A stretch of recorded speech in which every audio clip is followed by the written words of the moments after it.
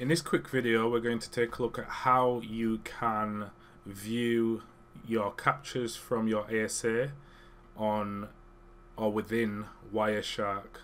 So we can see the captures and I have a capture already created here so if I could just do show cap so I can see I've got a capture here. It's got some captured traffic on there. And you can show cap cap.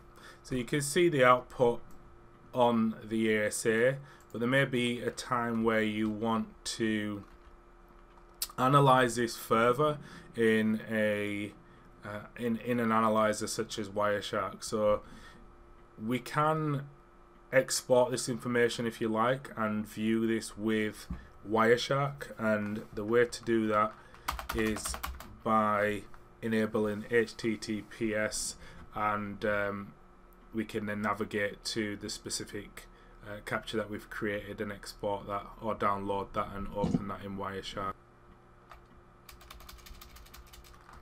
So to do this, make sure you have your capture set and it's it's, it's on and it's capturing traffic or it's caught traffic.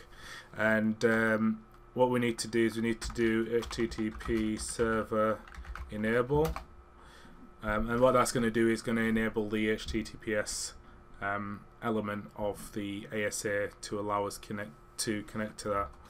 Now what we need to do is we need to do HTTP and we need to specify with this one the IP address that's authorized to connect to um, the device.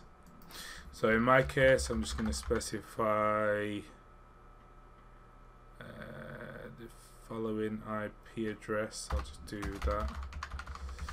Just checking that that's the right IP address, and then we need to specify the interface. So in my case, I'm going to use lab out because this is my lab environment. Um, and that's all. So if we just do a show cap, we can see that the capture name is called cap. Now what we want to do we need to open up a browser.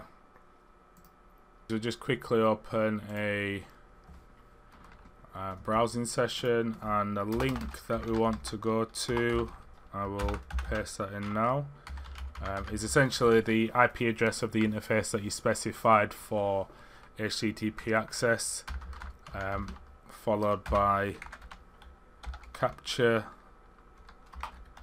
and then the name of the file, the name of the capture capture that you you capturing, and then pcap. So I'll just paste this in now. So if we add this in here and that's what we so essentially I'll just add this here. You can't see um, hopefully you can see that there. This is this is what we're going to be uh, going to. So essentially and I'll paste this in the video description.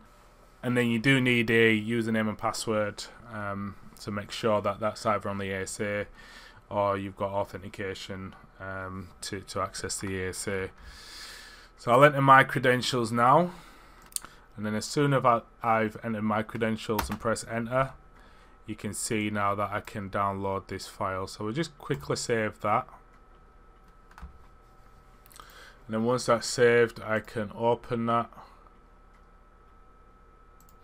And then once that opens you can see here that we now have the uh, output of, of that PCAP so we can then investigate further etc etc